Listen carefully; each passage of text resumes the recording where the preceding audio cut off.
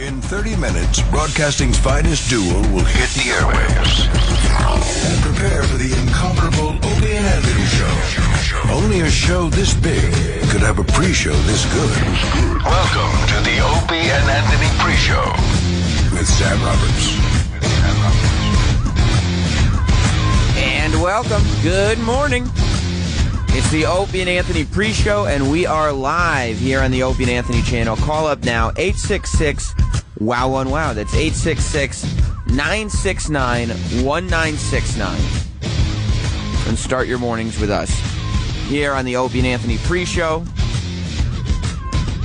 Packed this little studio full of people to make sure we could put on a show for you. Call up 866 Wow One Wow and talk about some of the things you might be excited about Opie and Anthony getting to today. Some of the things that went down yesterday, stuff that's happened overnight. You know, following along with Opie and Anthony on Twitter. That's your best hint as to what may come up today. Is looking at those Twitter accounts and realizing what's going to happen. That's where we get our information. That's that's a valuable tool as a producer prepping for another Opie and Anthony show. And I'm going to tell you this. I know I always talk about how excited I am, and I'm an excited person. I'm very excitable. It doesn't take much. But it is a new day here on the Opie and Anthony show. 28 minutes until the show begins. The guys have not arrived yet. They're on their way. Everybody will be here. And I'm going to tell you this. This is a whole new day. And not just the way every day is a whole new day because it's not yesterday. I mean, things are different. The mood has changed. Because in that studio, we broadcast here from the side studio, the tiny little studio that's usually just used pretty much as a phone screening room while the main show is on, because the main studio is to be christened every morning by the Opie and Anthony show. Right before we go on the air, we smash a bottle of champagne and let everyone know it's time for another day of broadcasting. It's a new day because as I look through the glass and I peer into this main studio, into the Opie and Anthony studio, I see there's been a change in the studio. Yes.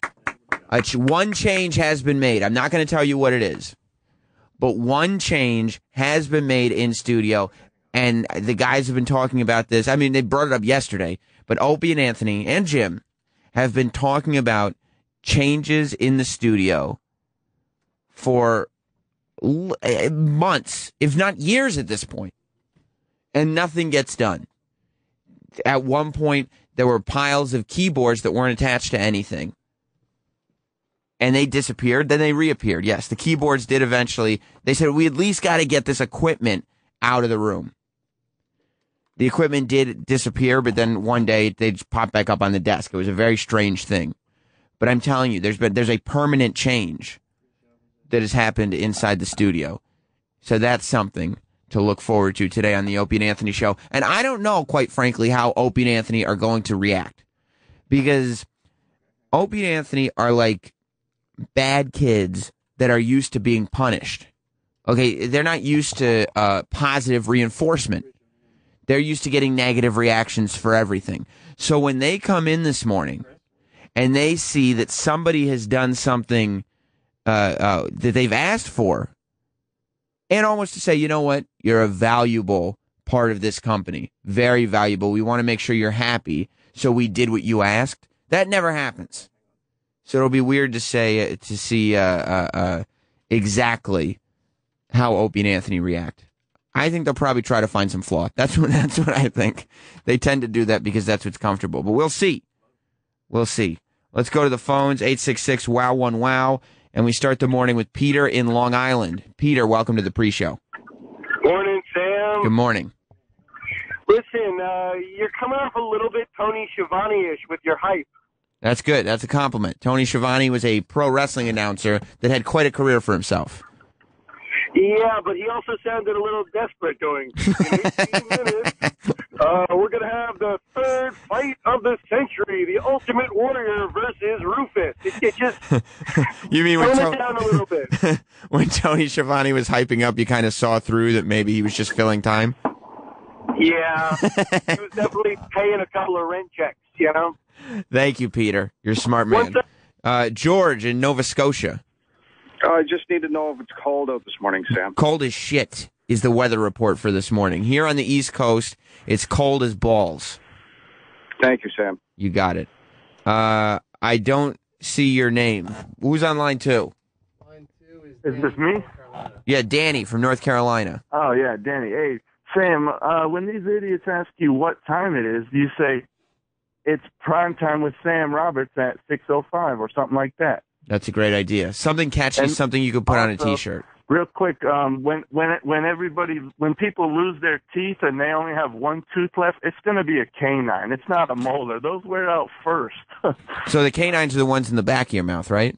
No, the canines are the pointy ones uh, in the front there. Oh, I like a dog's teeth. That's why they call them Yeah, canines. yeah, yeah. yeah. I understand. They have the least contact with anything else. Of course, they're going to wear out last. I guess that's true because you're bite. Oh, because you're biting with the back teeth, so they're gonna rot away, and then the front teeth are the ones that are gonna get punched out or something. So they can't. Okay, Yeah. I see it. Thanks, buddy. All right, professional broadcaster Sam Roberts. Hell yeah, I like that. I like that people called the hype show to hype the guy hosting the hype show. Uh, yesterday we were talking about the reason that came up for those that don't know and think that for some reason a caller is now just calling up and talking about weird dentures. Uh, we were talking about George Washington's teeth yesterday. I have no idea how it came up, but uh, I, he had dentures, and I guess he had one real tooth in his mouth. We were talking about how strange it is that the president uh, would be would have that. I mean, George Washington is a revered man. And he had fake teeth and one real tooth. He looked like Rich Voss. Andrew in New Jersey. Hey, what's up, Sam? How you doing? I want to go back to uh, when Colin Quinn called into the show yesterday, Mhm. questioning the guy's uh, interview skills. Well, first of all, I can listen to just four hours of them talking to each other, which would be fine. But if you're going to interview people, you got to go all in, and you guys don't have a staff. When you have five to ten people a week coming in there, you can't expect to, the guys to read five to ten books and go out to all the premieres. I think the problem is you don't have anybody to, to help. To be honest with you, you Letterman probably has a hundred people working for him. Yeah, that's true. But I mean, you know, other radio shows do it. Yeah, they have staffs too, though. Yeah, The guy down the hall has like uh, fifty people working for that's him. That's true. He does. He's got yeah. He's got a TV staff working for him. You're right. Yeah, Thank. wanna- yeah, go ahead. I want to call you out a little bit. You and Jimmy were kind of skirting around the issue, saying that maybe the other two guys aren't being prepared for the interviews.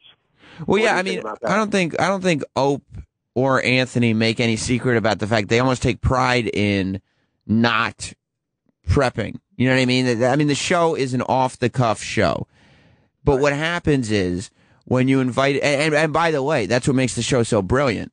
Uh, nobody can, nobody, uh, nobody really gets, I don't think, how difficult it is to pull a show like this off, off the cuff. I mean, if it were something that we're prepared for like crazy, it would make Opie and Anthony's lives, quite frankly, easier. But they're comfortable in the environment where they're off the cuff. So that's fine. But at the same time, a lot of the big actors that come in are not really off the cuff people. So they, they, they can't hang in a conversation. So you kind of have to know, all right, what direction should I take this in? But you guys respect Ronnie B when he does uh, an unmasked, which is only you know once every two weeks or whatever. He watches everything that the guy does. I mean, Right. he goes in there and he's ready. Right. you know? Yeah, I mean, I mean, yeah, there- there- it's it's a different school of thought, and that's what I think. That's what Opie and Anthony were getting at yesterday. Thank you, Andrew. Let's actually, so we get everybody on board. Let's play the clip of what happened. Colin Quinn has become the, the truth police of the Opie and Anthony show. Um, he called in. He calls in when he thinks something wasn't done well, and he just. I think he, he's just taking pride in the fact that he can get into Opie and Anthony's heads. But two days ago, of course, we had Barkhad, who played the pirate, the main Somali pirate in Captain Phillips. We had him on the show. And look, he wasn't, he's not a professional actor. He's a, he's a limo driver that ended up getting an amazing role in Captain Phillips. And he, he wasn't the most compelling guest. and Opie and Anthony and Jim had some trouble with him. Colin Quinn called up yesterday and made no secret about the fact that he was listening. Let's let's hear Colin Quinn. Let me just say, Yeah. you really outdid yourselves with the Barkhad Abdi interview yesterday. Just- But we immediately, that one was going so bad, and we're all looking at each other in the room like, oh, and, and Oh, all I'm thinking do? is somewhere Colin is listening to this. That's all I think of now. solemnity and the fucking ceremony which you guys give to the and the gravity, and then you met Tom Hanks. You guys are, you're worse than inside the fucking actor's studio. You understand? Tom Hanks. What was that like? Were you shaking? He's like, well, I don't know, guys. Even though I'm Somali refugee, you know, let's it's still, you know, it's not 1950. and I'm eating fucking Clark Gable either. You know? That was Colin Quinn basically saying they did. I, I don't know what constructive that does. He could probably have just texted them off the air and said, "Hey guys, you know, you could use a little work with Bob," as if he's like their radio coach. You know what I mean? It's so funny because Opie and Anthony won't take shit from management ever. But Colin Quinn calls up and he can get in their heads. Listen to this is Anthony kind of coming to terms with the fact that Colin I think Colin Quinn's phone call really shook up Ant. Let's uh let's take a listen to Ant's reaction. Like, Could you imagine? Okay, could you imagine Christian Bale walks in the studio and sits down? How awful we would be. We'd just be like, "Oh, so then, ah, I was. I wanted to say, like, you can't bring. It's so hard to bring some guests into the show, so you have to ask them questions, and you can't ask them questions while you're going, you know, being goofy. But it's not me. I know it's not me. A lot of times these guests come in. I'm not acting like me. Who gives a shit? Colin is I laughing. sit there at my house when friends come over and sit down and go, but, so, Joe, uh, Joe Curry, tell me about when uh, you were growing up and st-. No, you- Stop. I Colin- can't Colin, help it. Colin is laughing somewhere. Colin right has fucking gotten in my head He's now. laughing. Well, there's nothing else in there. Why wouldn't he have plenty of room? Uh, and he was. Colin was deep inside, especially Anthony's head yesterday. I mean, the guest thing is weird because, like I said, the Opie and Anthony show prides itself on being an off the cuff show that is just kind of, I mean, at, outrageous at times, but just a show that talks about whatever, whatever's in the room. Let's comment on it. Let's not leave it sitting there. So when a guest comes in, the mindset of Opie and Anthony, and I think Jim too, is ideally we'd like you to just come in and join the show. That's why comedians work so well on the show because comedians would just come in and be able to shoot the shit.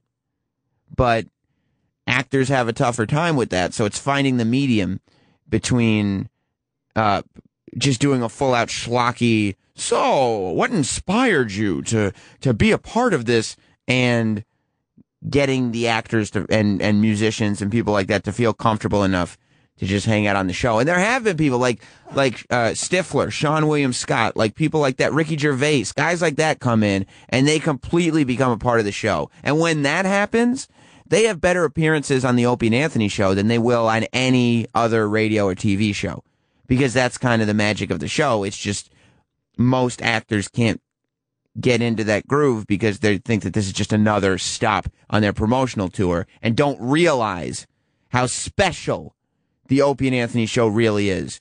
You're going to realize how special it is in just about 16 minutes when the Opie and Anthony show goes live for the very first time this Thursday. Red in Canada. Hey there, Sam. Uh, I'm not normally up to catch the show this early in the morning. I gotta say, your voice, holy man, it's worse than a fucking alarm clock. Yeah, I mean, it's not something. to a dog scratching his asshole on the carpet. Uh, yeah, I would imagine it's not something that people are going to sleep through. I'm not. But I'm not here to. Uh, I'm not here to calm you. Okay. I'm not here to give you something that's easy and nice. I'm not here to make your morning calm, cool, and collective. I'm here to alert you to the fact that there's about to be four hours of the best goddamn entertainment that you'll find anywhere on the radio. And if you need to hear that cat claws scratching on a wall, you have to, because you need to be up and out of bed and ready for this shit.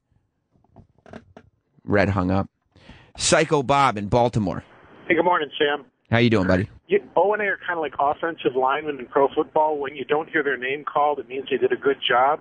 And that these guys are so good at what they do they make it look effortless. They make it look easy, and it is really difficult what they do. Yeah, and that's also that's the kind of the curse of being Opie and Anthony is that, uh, like you said, people don't really recognize how good they are at doing what they do because, like you said, they make it seem like oh, we just kind of roll in here and shoot the shit. I mean, But anybody else, anybody else rolling in here and shooting the shit, nobody would pay to hear them do that. You know what I mean? yeah, yeah, absolutely. I'm punching out. All right. Talk to you later, Psycho Bob. Talking about football players, as Psycho Bob just did. Uh, Richard Sherman is back in the news, and I'm sure Opie and Anthony are going to touch on this. He went out uh, on a press conference yesterday, and you know he's the guy who plays for the Seahawks that we talked about on Tuesday, and everybody was talking about him over the weekend. Who after the game went on and was talking about how he's the best, and was talking about uh, how the opponent, the guy on the other team, uh, Crabtree, how he was a lousy player. And so he went on TV and he did this wrestling promo and he got everywhere. And I guess people have been calling him a thug. And so yesterday, uh, Richard Sherman went on TV and said he was disappointed at the fact that people were calling him a thug and that he thinks thug is just an acceptable way of, of saying the N word. And so he's basically saying that everybody in the media is referring to him as an N word, but using the word thug instead. Obviously, Opie and Anthony are going to touch on that today. Look, the guy brought up the hockey fight. He said, remember we were talking on Tuesday? Opie tweeted the video of the hockey fight. We never got to it on the main show, but we talked about it on the pre-show. Um, Opie tweeted that video of the two teams that 30 seconds into the game, just everybody that was skating, everybody that was on the ice ended up fighting with each other. And he cited that and said nobody's calling them thugs, which is which is true. But I got an email about that when I was talking about the hockey fight and saying Opie and Anthony might talk about it, blah blah blah, and kind of describing what happened. I got an email from the host of Hockey This Morning on NHL Radio here on Sirius XM, which, by the way, I if you're if you're hosting Hockey This Morning, I'm assuming it's a morning show. Maybe you should be spending a little more time watching hockey games and a little less time listening to my beautiful voice. But he wrote me this long email. He wrote, "Please, Sam." When talking about hockey, don't refer to it as the skating rink. It's a skating rink. Just because it's bigger than most skating rinks doesn't mean it's not a skating rink. Just because there's not a DJ in the middle of it doesn't mean it's not a skating rink. He said it's just a rink or the ice because men are on there. A skating rink is for figure skating. No, it's not. It's for any ice skating. And if you're going to start liking hockey because of a line brawl, please move on. There is so much more to the game than scraps. Fuck. I can't stand it when non hockey people try talking about it. Most people are non hockey people. So if you don't want non hockey people talking about hockey, prepare for a quiet day. Then he says, and instead of talking about the fight in a game with two teams, do two minutes of research and find out that it was Calgary and Vancouver, and it was two seconds into the game. And it's not a part of hockey that one coach has been suspended for 15 days and the other fined for $25,000. For anyone wanting to hear more extensive hockey talk, and then he talks about his show, Hockey This Morning, on NHL radio. Look, I'm assuming that if anybody wants hockey talk, they're not listening to the Opie and Anthony pre-show in the morning. Because I think there is no guys. We have not advertised this as your one-stop shop for hockey. And I, eh, eh, if a hockey fight ends up on my radar because Opie tweets about it, I'll talk about that. But I'm not going to research the sport so I can put it into proper context and really break it down for everybody. As far as all of us are concerned, as far as the general Opie and Anthony listening public is concerned, they saw a bunch of men on a skating rink fighting with each other on Opie's Twitter. And that's all that matters. So put that in your pipe and smoke it. You talk about that on NHL radio today. Anyway, this NHL radio. Why would you need to talk about the NHL every morning? Get out of here. You could talk about it if there's a game going on, but come on. It's about 10 minutes left before the Opie and Anthony show starts. And I'm going to tell you, the Opie and Anthony show is going to have stuff to talk about today because we're not limited to just hockey. No. Hockey could come up, but it probably won't. Another, another sports story though. it's a football story. It's not the Richard Sherman story. I'm sure that's going to come up, but I'm hoping I'm giving uh, Opie and Anthony the clip this morning. One, there's a player from the 70s, an NFL uh, 60s, 70s player. His name is uh, David Kopay. And apparently, there's a documentary that came out about this guy, Jeremy Smith. And he played for the Redskins in like the 60s and 70s. And he was a closeted gay man. Well, David Kopay was his teammate on the Redskins. And there's a, like a one minute segment in this documentary where David Kopay talks about sleeping with him. The two teammates had a love affair. I hope Opie and Anthony get into this because I would. Well, I'd rather them talk about. I'd rather them talk about uh, two football players sleeping with each other than hockey. But, but I mean, you know, like you talk now about the first athletes coming out of the closet and and and there's even conversations about well, have there been gay athletes this whole time? This is in nineteen the 1960s. The Redskins were sleeping with each other for God's sake. It blew my mind when I heard this story yesterday, uh, and I'm hoping Opie and Anthony will get into it today. 866 Wow 1 Wow is the phone number. 866 969 1969. Phone lines are wide open as we count down the minutes before Opie and Anthony start. Opie and Jim both in the studio and on his way. There is a change in the studio. I'm assuming that's going to be talked about at the top of the show, unless they don't have any complaints. Maybe it'll just be good news. And what'll happen is they won't even mention it. Like, oh yeah, that like off the air. Oh, it's good that they changed that. And then they get on the air and don't even ever mention it. It must be impossible managing this channel. But I'm telling you, one of the changes that Opie and Anthony asked for has been made, and it's there. Um, we were talking about Ant yesterday. I, I, I called it Denture Day, and it was kind of disappointing because Ant came into the studio with his new teeth because he's getting like uh, laminates put on, and he, and he came in with the temporary ones. I guess you have to put temporary ones on for two weeks, and then you get the real ones. But I didn't really, I didn't notice. I don't think anybody really did. Uh, Ant had to bring it up about three hours into the show because nobody had said anything about it. Here's what it sounded like. They're molded from my teeth. They like take an impression of it, and then they do all the work where they grind down and shape your teeth and stuff like that.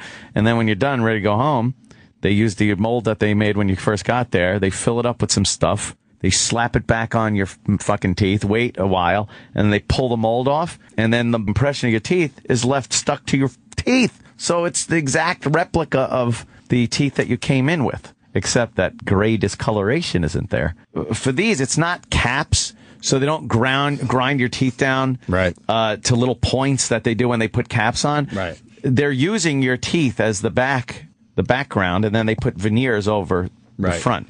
So th- she shapes the teeth. And she just grinds it all down until it looks really nicely shaped and Do they stuff. feel like teeth on your tongue? Yes.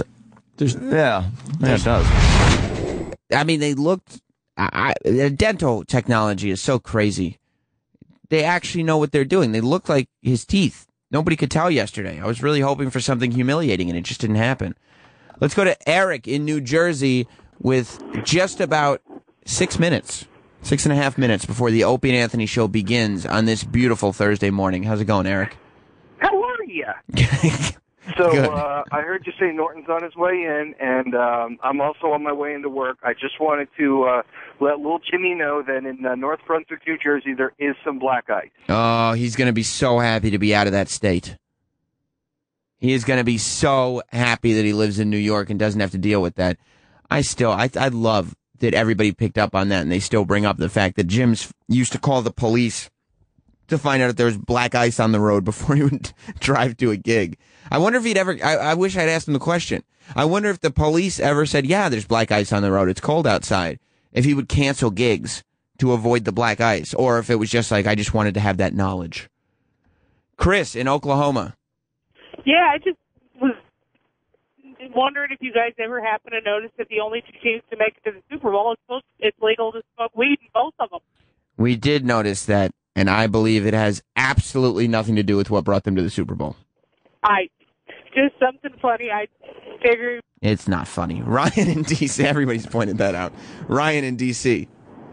Yeah, what's up, man? Hey, uh, I wanted to know what you thought about Batista coming back on Monday Night Raw, and who do you think's going to win the Royal Rumble this Sunday? Oh gosh, I'll try to make it quick. Uh, I don't know. I would hope that a wrestler named Daniel Bryan wins the Royal Rumble, and Batista coming back was kind of lackluster. I was hoping for more. Uh, you remember Batista? He was a wrestler about four years ago. He returned on Monday Night Raw, but he was wearing very tight pants and didn't say much, so it wasn't it wasn't as big a deal I thought as it should have been. The one thing I'm a little worried about today, when going through the news stories, what are Opie and Anthony going to tackle? Now, you know, I've had uh, my arguments with the guys in terms of music on the show multiple times in the past. Most recently, uh, because they played Hall and Oates. They insisted that Hall and Oates in Asia were like the greatest bands that have ever been, and I am of the opinion that both of those bands are shit and they're terrible. The Captain and Tennille have announced that they're divorcing. And I am petrified. As soon as I heard that last night, I thought to myself, oh no. Does this mean a Captain and Tennille break on the Opie and Anthony show today? It could. And listen, we talked about how good the guys are at what they do. If anybody can make a Captain and Tennille break funny, it's Opie and it's Anthony. Maybe it can happen, but I'm petrified at having Captain and Tennille songs stuck in my head the rest of the day. That's the worst part about these music breaks. And I think that's what gets me so frustrating because they're always funny. Opie and Anthony know how to make, and Jim obviously know how to make everything funny. So anytime they bring up these old music breaks, I mean, they're, even if they do them over and over again, they're saying different things while the same songs are playing. So they're always funny. My problem is that I go home and have these terrible songs stuck in my head for the rest of the day. And there is no way that I want to go home singing Muskrat Love today. So hopefully, Captain and Tennille will be talked about briefly and we will move on. I don't see it happening. I see a Captain and Tennille break happening today. And maybe there's some Captain and Tennille fans that are just waiting for that. I hope I don't get any angry emails from the host of Captain and Tennille this morning on Captain and Tennille radio saying, why didn't you know more about the captain? Mm. Also, today on the Opie and Anthony show, Jay Leno is going to be on 60 Minutes on Sunday, and they released a clip of Jay talking about Jimmy Fallon hosting the Tonight Show. Obviously, Jimmy Fallon is taking over for Jay in a couple weeks after the Olympics, and Jay, I'm telling you, this guy is unshakable. He's of course being uh, polite about it. You know what I mean? He's not. He's he wasn't taking any shots. He was saying, "Oh, and we'll talk about it." And and I'm interested to hear if Opie and Anthony think that Jay Leno is just once again kind of being diplomatic, or if he's sincere and he doesn't have any harboring resentments about this decision. I will say this: if you listen to the clip, and I believe today on the Opie and Anthony show we will, I believe there are some veiled insults toward Conan O'Brien. That just the way Jay's talking about the Tonight Show and the transition of hosts, and he's complimenting Jimmy Fallon, I believe there are some veiled shots at Conan O'Brien. You can be the judge. We're here if Opie and Anthony are the judge in just about a minute and a half uh, when the Opie and Anthony show begins for today. Let me go to Ronnie in Brooklyn. What's up, buddy? You there? No, I'm not going to Ronnie in Brooklyn. I don't have time to wait around. The Opie and Anthony show starts in just about one minute. Now, as I said, the thing for you to look forward to is the fact that something in the studio has changed. Yes, physically. It's not a little thing either. It's something that's been specifically asked for. I'm assuming that's what they'll start with because it's a big deal. Something actually got done. And I think that says a lot of good about the new management here because something got done. One thing got done, which is right now 100% more than anything in the last three years. So that's, that's a big congratulations. And I will also say this. Listen very closely when the intro to the Opie and Anthony show plays. This is the new intro that was supposed to play yesterday, right? Okay. Supposed to play yesterday, but somebody was sleeping behind the wheel. Today, wait, well, you know, today when the new intro plays, who do you think? Yeah.